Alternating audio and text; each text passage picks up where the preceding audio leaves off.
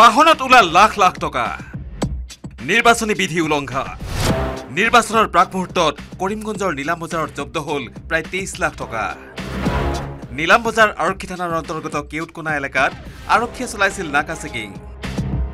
আৰক্ষীৰ নাকা চেকিং প্ৰত্যক্ষ কৰি চালকে বাহন লৈ অন্য দিশে পলায়নৰ চেষ্টা কৰিছিল। ইয়াৰ পিছতেই আৰক্ষীয়ে খেদি খেদি কৰায়ত্ব কৰিলে এখন বলেৰো বাহন। এই বাহনখনত তালাচী চলাই বেগ এটাৰ ভিতৰৰ পৰা আৰক্ষীয়ে উদ্ধাৰ কৰিলে বাইছ লাখ পঞ্চানব্বৈ হাজাৰ পাঁচশ টকা। লগে লগে নিৰ্বাচনী বিধি উলংঘা কৰাৰ অভিযোগত বাহনখন জব্দ কৰাৰ লগতে ৰূপাৰগুল এলেকাৰ আব্দুছ চবুৰ নামৰ বলেৰখনৰ চালকজনক আটক কৰে। ইয়াৰ পিছতেই আৰক্ষীয়ে নিৰ্বাচন আয়োগক খবৰ দিয়াত ঘটনাস্থলীত উপস্থিত হয় ফ্লাইং স্কোৱাড। অধিক তথ্যৰ বাবে বাহনখনৰ চালক আব্দুল চবুৰক জেৰা অব্যাহত ৰাখিছে। আৰক্ষী আৰু ফ্লাইং স্কোৱাডৰ দলে। কৰিমগঞ্জৰ পৰা Girish নন্দীৰ report news eighteen Assam north east.